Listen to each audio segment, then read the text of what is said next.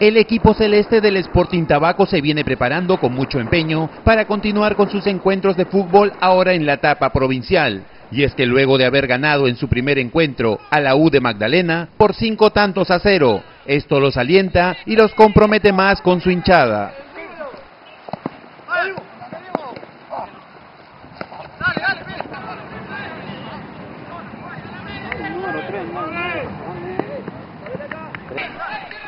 Sporting Tabaco sabe que la etapa provincial es más fuerte.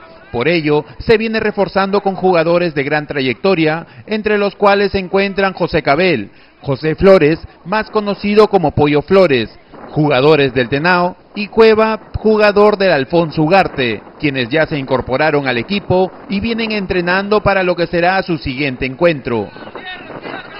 esta es otra etapa donde hay que ir reforzándose poco a poco los equipos, de las cuales eh, el equipo eh, nuestro nos estamos reforzando con seis eh, jugadores de gran trayectoria. Como en un primer, primer momento lo anuncié, José Cabel.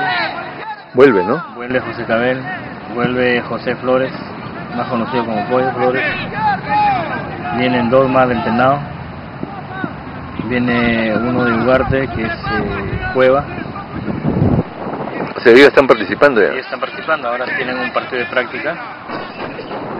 Este sábado 2 de junio será el segundo partido de Tabaco en la etapa provincial, el partido de vuelta con la U de Magdalena, partido que se jugará en el estadio de Ascope y al que todos los cartavinos están invitados, pues una de las formas de apoyar al equipo es acompañándolos a sus encuentros y alentándolos.